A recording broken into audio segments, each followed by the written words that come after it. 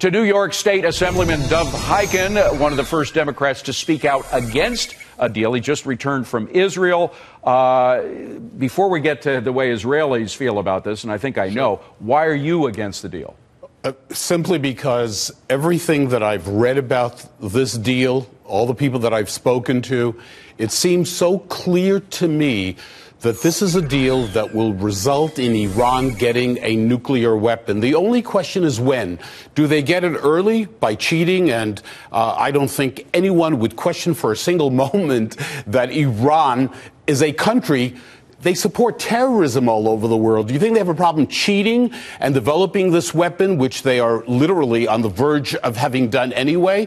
So this is insane to do this. And I would urge my fellow Democrats Take politics out of this. I wish the President of the United States would say to the, to the Democratic Party, this is an issue of conscience. This could be the biggest mistake ever. This could be Chamberlain 1938 coming back and thinking that the world had been saved, that they fooled Hitler. Hitler was making peace. We're dealing with this regime responsible okay. for so much terrorism all so over the world. So What happens, Assemblyman, when you go to somebody like New York uh, Senator Gillibrand?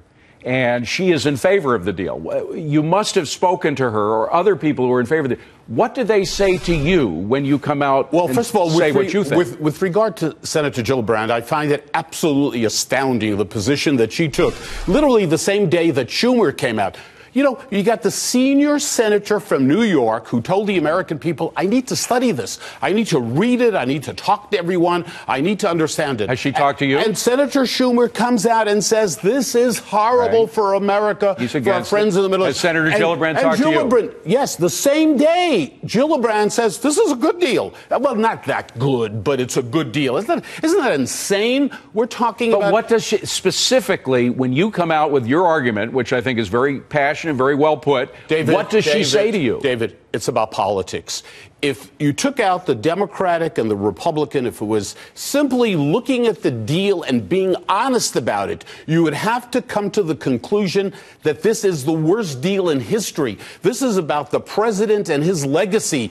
And let me tell you, he will have one hell of a legacy because this is not going to work. So, what do the Israelis think? They must feel completely abandoned. I, I, I traveled throughout the country over the past two weeks, speaking to people from every political stripe, left, center, right. It's rare that the people of Israel, if you think we have problems in Washington with Republican and Democrats, in Israel they are divided all over the place.